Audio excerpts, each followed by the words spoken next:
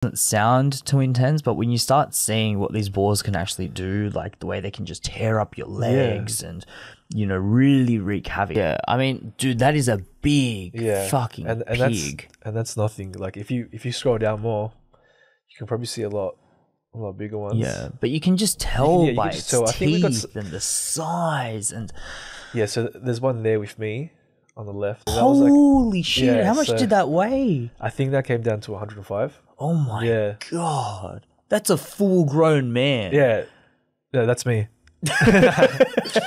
yeah, so um, we're the biggest pig last year, right.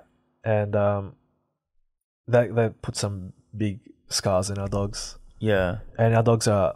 We always run our dog with like chest plates. I was gonna say, do they have So- like protective equipment? Yeah, so um, some do. Some have a protective collar. So like as you can see on the screen, yeah. that's one of um, like she's a smaller dog. She's a pup there. Mm-hmm.